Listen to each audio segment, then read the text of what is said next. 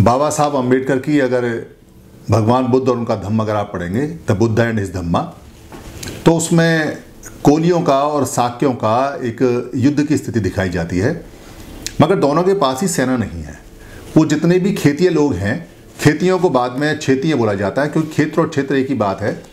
खेत को ही बाद में क्षेत्र, क्योंकि छह पाली भाषा में नहीं होता, खेत होता है। इसलिए जितने भी खेतीय लोग थे, वो सबको कंपलसरी था कि अगर कोई आपातकाल आता है तो वो सारे के सारे सैनिक में बदल जाएँगे और 21 साल या 20 साल से एक निश्चित उम्र थी, उसके बाद में हर खेतीय को लड़ाई के लिए जाना ज़रूरी है, अगर कहीं लड़ाई की घोषणा होती है तो। यानी ये बात मैं इसलिए आपको बोल रहा हूँ कि सामाजिक परिदृश्य में भारत के अंदर कहीं सेनाएँ नहीं होती थीं। अगर कोई आफत आती थी तो वो सेनाएँ आपस में, यानी वही लोग, जो खेतीय लोग थे, वही खेतीय लोग लड़ने के लिए जाते थे। हालाँकि ऐसी कोई बड़ी लड़ाइयाँ होती नहीं थी। कोई छोटी मोटी, क्योंकि यहाँ धन धान्य खाना पीना बहुत बढ़िया था, फिर भी वाद विवाद होते रहते थे। जैसे कोली और साक्यों में जो रोहिंगी रिवर थी, उसमें पानी के लिए वाद विवाद हुआ। बाबा साहब अंबेडकर ने सामाजिक सुरक्षा के लिए वॉल्टियर्स बनाए, उनका नाम समता सैनिक दिया। समता सैनिक दल बनाया। बाद में वो दल के बहुत सारे टुकड़े हो गए और उस दल की मान्यता खत्म हो गई। ऐसे ही भारत के अंदर सामाजिक सुरक्षा के लिए सामाजिक लोगों ने बहुत सारी सेनाएँ, ब्रिगेड, वॉल्टियर, पैंथर, टाइगर, सेना, आर्मी, मिलिट्री, बहुत सारे नामों से ये सारी सारी फोर्सों के या वॉल्टियर फोर्स हैं, बहुजन वॉल्टियर फोर्स या समता वॉल्टियर फोर्स, बहुत सारे नामों से जगह जगह कुछ कास्ट बेस्ड हैं और कुछ धर्म पर आधारित हैं, धर्म पर आधारित हैं और कुछ सामाजिक रूप से हैं, कुछ सामाजिक क्षेत्रों की हैं। ये सभी लोगों ने जो ये सामाजिक वॉल्टियर्स बनाए हैं, ये सुरक्षा के लिए बनाए हुए हैं। मगर अफसोस इस बात का है कि जितने भी ये सेनाएँ, जितनी आर्मी जितनी ये वॉल्टियर्स फोर्स या दल या बल या टाइगर या पैंथर या ब्रिगेड या आर्मी या शक्ति दल या महाशक्ति दल, जो भी ये बने हैं, अगर आप ध्यान से आकलन करेंगे तो ये सारे के सारे ही भाषणबाज हैं, लफाज हैं इनका ना ही तो कोई सेंट्रल ऑफ़िस है, ना ही कोई इनका स्टेट का ऑफ़िस है, ना ही ये एक साथ हैं। सबसे बड़े अफसोस की बात है कि ये समाज के लिए काम करते हैं, बाबा साहब के पटन पर काम करते हैं, बाबा साहब को अडिल मानते हैं, बाबा साहब ने कहा है संगठित रहो और ये विखंडित हैं सारे सारे ये सब अपना अपना काम करते हैं। किसी की ना ही तो कहीं कोई ट्रेनिंग होती है। यानी कि जैसे परेड होगी, या वो ग्राउंड में इकट्ठे होकर रिहर्सल करेंगे, या वो कुछ अच्छा सीखेंगे।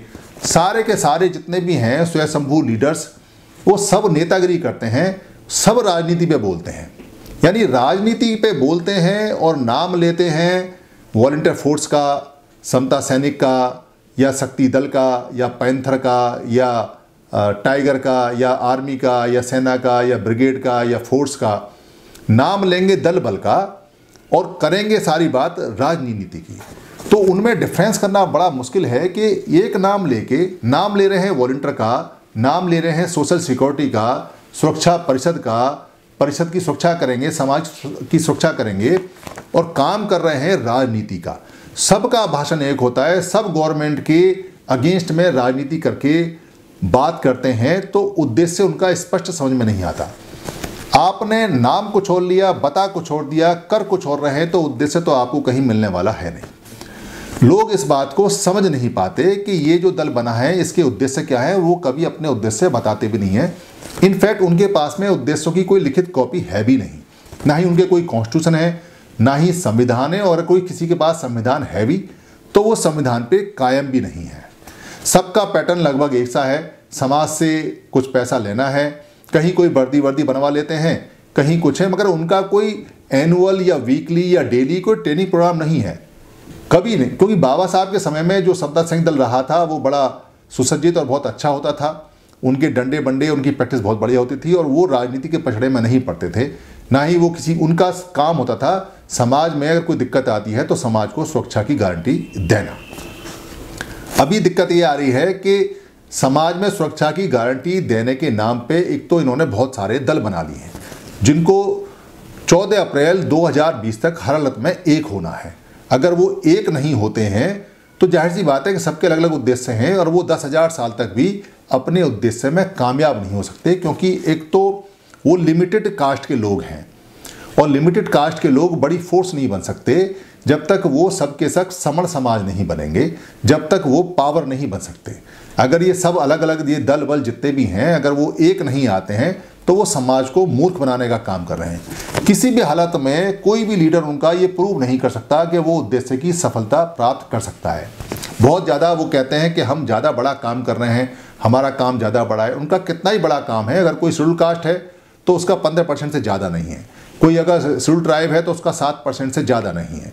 कोई अगर बैकवर्ड है तो बैकवर्ड होकर बहुत सारे फ्रैक्शन हो रहे हैं, उसमें वो कास्ट बेस से ज़्यादा आगे गया नहीं है। तो आपको रूल करने के लिए, जानने के लिए इन सबको इकट्ठा करके एक फोर्स बनानी है ताकि आपकी सामाजिक सुरक्षा हो सके। इसलिए आपको क्या करना है, आपको करना यह है कि कोई दल, बल, आर्मी, सेना, वॉल्टियर, पैंथर, टाइगर कोई शक्ति दल, कोई समता सैनिक दल, कोई बहुजन दल, कोई बहुजन वॉल्टियर, अगर कोई आपसे इस तरह का कहता है कि मैं सामाजिक सुरक्षा दूँगा तो आप उनसे सबसे पहले ये कहिए कि भाई सबसे पहले आप अपनी सुरक्षा कीजिए, आप सब एक हो जाइए। आप सबको एक होने की ज़रूरत है। जैसे ही आप एक हो जाएँगे, एक वॉइस जाएगी, एक आवाज़ जाएगी कि ये सारे वॉल्टियर फोर्स एक हैं, इनका एक सिस्टम हो चुका है, ये एक सेंट्रलाइज सिस्टम में काम कर रहे हैं तो फिर अपने आप ही लोगों की हिम्मत ही नहीं होगी कि वो आपके लोगों के साथ में कोई एक्ट्रोसिटीज़ कर सकें, कोई ऐसी काम कर सकें जिससे उत्पीड़न हो या कोई मार पिटाई या कहीं कोई बलात्कार या कहीं कोई अत्याचार होगा ही नहीं। क्योंकि सब आप बिखरे हुए हो, सब आप अलग अलग हो, एक जगह एट्रोसिटीज़ होती है, आप पाँच लोग वहाँ अलग अलग जाते हो। तो सामने वाले को पता है कि आप बिखरे हुए हो। जब आप सामने वाले को ये पता है कि आप बिखरे हुए हो तो आपकी सुनेगा कौन? आपकी सुरक्षा, फिर नाम की सुरक्षा है। आपको थोड़ा तो सोचना चाहिए कि एट्रोसिटीज अगर होती है, वहाँ पे पाँच जगह अगर प्रदर्शन करते हैं अलग अलग करके तो सामने दुनिया में क्या मैसेज जाता है? आप क्या कर रहे हो? आपको क्या करना चाहिए? इसमें भी नेतागिरी है। वॉल्टियर फोर्स में भी। आपको बाबा साहब से ये बात समझ में नहीं आई कि बाबा साहब का उद्देश्य क्या था। बाबा साहब ने संगठित होने के लिए क्यों कहा? आपको समझ में नहीं आता कि संगठन क्या होता है, क्या नहीं होता है। बराए मेहरबानी, आप अपने इन सभी दल, बल, नेता, शक्ति, टाइगर, पैंथर को वोल्टर फोर्स को जितने भी आपने जातिगत बनाई हुई हैं, जो समण समाज की हैं, उनको 14 अप्रैल 2020 तक बिना शर्त के एक कीजिए। आप अंबेडकर भवन से उसकी घोषणा कीजिए, मुंबई से कीजिए, दिल्ली से कीजिए, पार्लियामेंट पे आके कीजिए, वरना लोगों का आप पे यकीन नहीं रहेगा, विश्वास नहीं रहेगा। लोग आपको मदद नहीं करेंगे।